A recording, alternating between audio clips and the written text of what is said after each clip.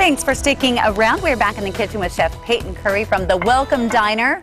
And we're sticking with the vegetarian fare, and you're going to make us a tomato panzanella We're with doing a panzanella. veggies. Yeah, we're going to do a panzanella. We're going to finish the squash salad first. Okay.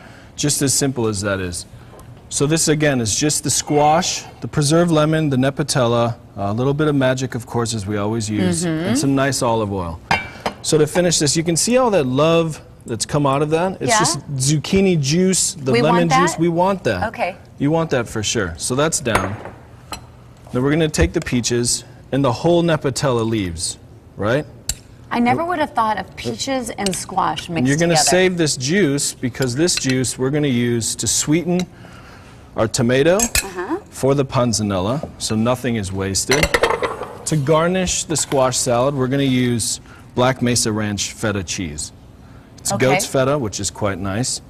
A little bit of this to garnish, and that's it. If you like pine nuts, throw some pine Ooh, nuts on there. If you like almonds, throw some almonds. At the Welcome Diner and at the dinner I'm doing on Wednesday at Monty's in Tempe, mm-hmm. no nuts, just me. no I'm the- nuts? I'm the only nut that'll be there, which is good. How do you get these flavors to sort of all come together? I mean, do you just sort of I play in the kitchen? I copy any website I possibly can. Really? No, not at all. um, I used to. Uh, I mean, who, who would have thought that all that went together? Is it just trial and error? I just try to be more and more like Martha Stewart, you know, as Okay. much as I can. Got the curls going, I guess, so we'll go from there. You're definitely entertaining. oh, you have to do that. And your to food smells really good, and I know it's going to taste really good. So before we finish the chimichurri, we're going to taste the, take this toasted garlic vinaigrette, right, for our panzanella salad. And make sure whoever you are with is eating the same thing. That is true. Because that, yeah, that could be really offensive with all that garlic. Well, the, gar- the garlic's actually toasted off, so it, it gets a little bit sweeter. Is it like a bread salad? Total bread salad. This is brioche from Essence Bakery in Tempe. Um, we go through quite a bit of this brioche at the Welcome Diner.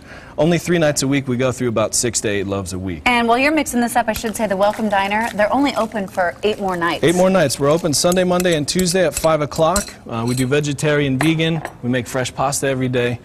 Very rustic. I wanted it to feel like um, a, a little restaurant on the side of the Autostrada in Italy, where you'd be driving and you'd say, man, I didn't expect that to be there, or, you know, this neighborhood wouldn't expect us to be there. But Right. we're getting peaches dropped off, eggs dropped off from our neighbors. Because you are sitting milk. right We're inside of the community. Like you're, It's you're right it's all inside. residential. And that's exactly what we wanted it to be. And our last day is the 4th of July.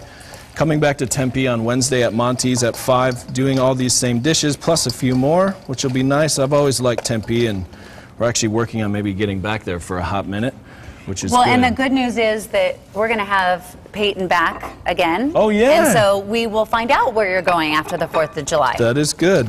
That is news to me. So to garnish, we're just going to drop the panzanella, some nice greens, local greens as well. Tomato. I mean, this is something, you know, this salad could feed, well, it's going to feed your entire staff today.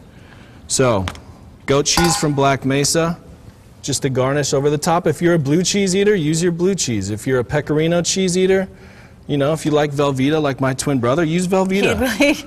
You know, and Would you just if you put Velveeta over the top of that? You know, that's That's you all never right. know. You never know. And then just a little, a little snack.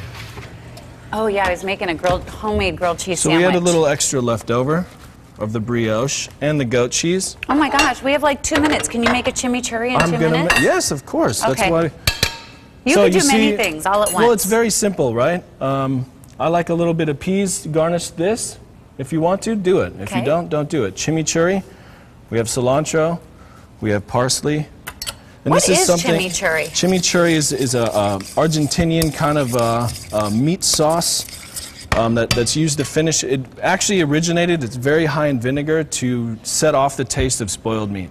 But we're making vegetarian. But we're making vegetarian. So what we're going to do with this chimichurri, instead of putting it on meat, we're just going to use it to garnish a, a grilled, a grilled cheese, cheese sandwich? sandwich. Yum. So it's very high again in acid. Okay, so you're putting Banyuls vinegar, which is my go-to vinegar. These vinegars are quite expensive. It's the only vinegars that I'll use, especially during tomato season. But you only use a small amount of it, so you don't have So to are use you a lot. making this also at Monty's? We are, yes. Okay.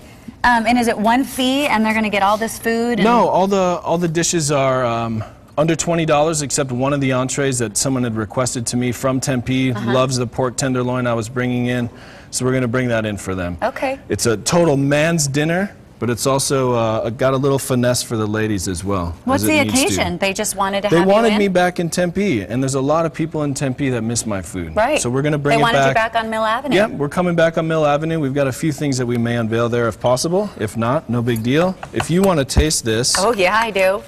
So what I do is just to try to kind of keep it clean. I know my cutting board's a little mess there, but what I like to do is just spoon a little bit of this over the top. Mm-hmm. Now, if you're doing it for a party, do it open face. Don't cut it like I do. Yeah, did. put mine right in You there and know? I'll put the lid back on it. And then you can do it that style. You. If you want some sliced tomato in there, go ahead. I like to show off the nice bread from Essence, the nice goat cheese from Black Mesa, some fresh herbs, and you can't go wrong. There's Oh no there's no butter, there's no mayonnaise, so I save all that fat for the goat cheese, but it's not too high in oh, fat Oh, Which either. one's Kim's, my producer? so, She's uh, asking. uh, actually, Kim, since I haven't been back in a while, you don't get any of this. so, That'll show you. and Paul, Paul, we've got some cleanup for you too, brother.